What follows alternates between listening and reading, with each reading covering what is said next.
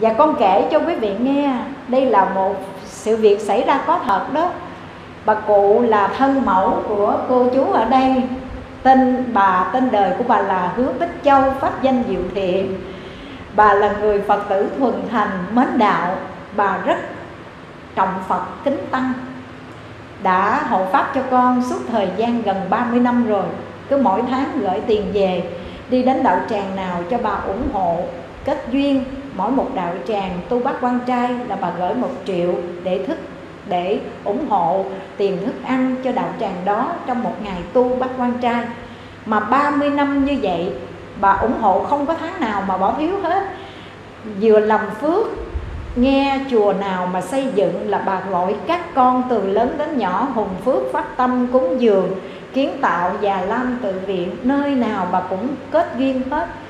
Và gần đây thì cách đây hơn một tháng thì bà về Việt Nam và bà về vào ngày 2 tây tháng 12 bà mới nói với con như thế này, sư phụ ơi, con có chuyện này, con muốn nói với sư phụ là trước khi con về Việt Nam 3 ngày là con nằm chim bao, con thấy từ phụ a di đà phật đến nói với con rằng con vãng sanh rồi vừa nói như vậy thì trong giấc chim bao, con lại thấy con vãng sanh nằm trên tay của sư cô huệ an là con gái ruột của bà. Xuất gia ở tại chùa hưng thiền bà nói là bà vừa nghe từ phụ a di đà phật nói như vậy thì bà nhìn lại, bà thấy bà lại đặt cái đầu của bà trên cánh tay của sư cô, con gái của bà. Rồi bà mới hỏi con vậy chứ? Lúc đó bà nói với sư cô trong giấc chim bao nha từ phụ a di đà phật nói mẹ vãng sanh. Thì sư cô mới trả lời, vãng sanh giống như về nhà, có cái gì đâu mà sợ. Lúc này bà giật mình và thức giấc, và ba ngày sau bà trở về việt nam. Con của bà là chú tư đây với một chú út dẫn bà về việt nam, về chùa hưng thiền. Khi bà về xong rồi bà ngồi niệm phật, bà mới tâm sự, bà nói với con như vậy. Cái bà hỏi, sư phụ ơi, con hỏi sư phụ trong điềm chim bao con thấy như vậy mà con có vãng sanh không? Con mới cười con mới nói chắc chắn vãng sanh, nương vào cái tâm hạnh hiện đời của bà đó. Sự phát tâm và hàng ngày bà phát nguyện tha thiết tu tạo bao nhiêu công đức phước lành, bà không biết chữ mà bà chỉ bà chỉ học lớn đi vào đạo tràng, bà học lớn qua 12 lời nguyện đó.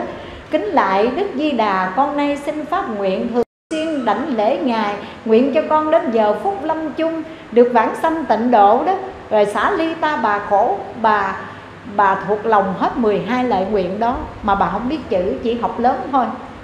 Nghe mà học lớn rồi thuộc. Rồi bà phát nguyện tha thiết. Làm công đức phước lành gì bà cũng hồi hướng tây phương trang nghiêm phật tịnh độ. Rất là dễ thương luôn quý phật tử ơi.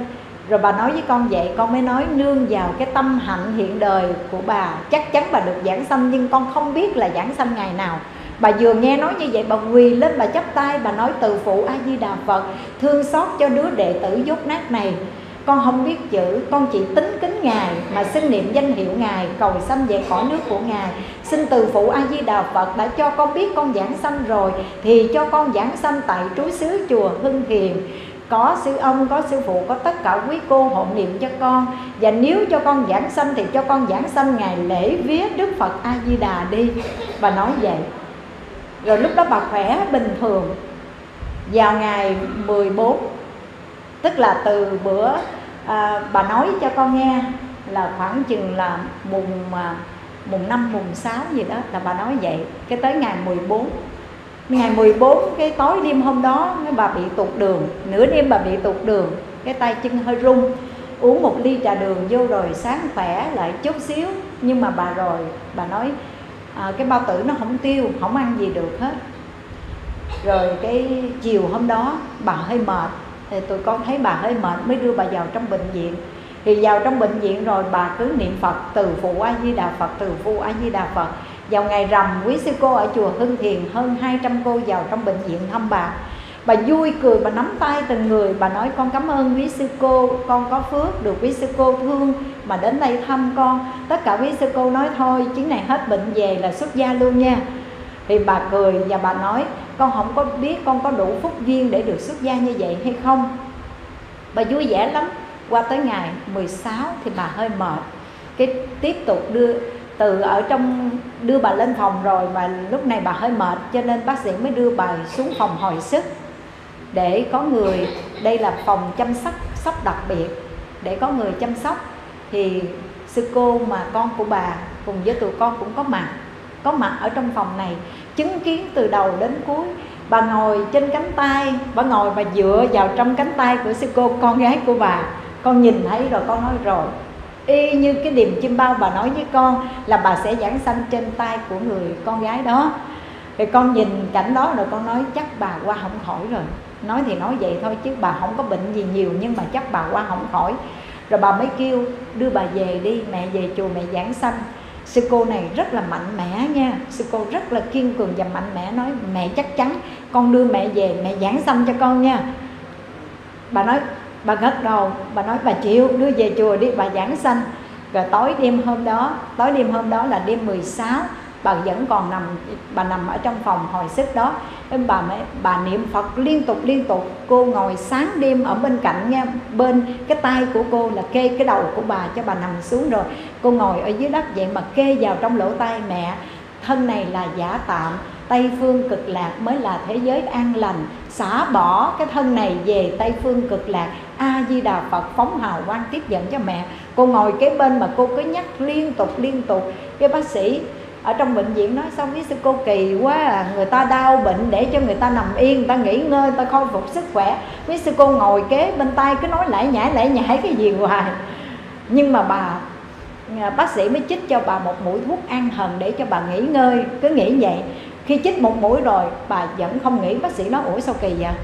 Cái mũi thuốc này chích vào là ngủ 6 tiếng đồng hồ mới thức dậy đó. Mà bà tỉnh bơ luôn, bà nằm đó, bà vẫn niệm phật sư cô ngồi kế bên, bà nhắc bà bà niệm phật, cứ từ phụ a di đà phật từ phụ a di đà phật. Tới 5 giờ mấy sáng thì bắt đầu, lúc đó là nhịp tim nó chạy trên máy cho mình thấy nhịp tim, rồi à, huyết áp gì bình thường hết. Lúc này nhịp tim nó có chấn động thay đổi nha. Bắt qua là ngày 17 tháng 11 là lễ vía Đức Phật A Di Đà có chấn động thay đổi rồi, sư cô mới bước đến gần nói, mẹ mẹ muốn như thế nào bà nói muốn về chùa giảng sanh bà nói vậy đó.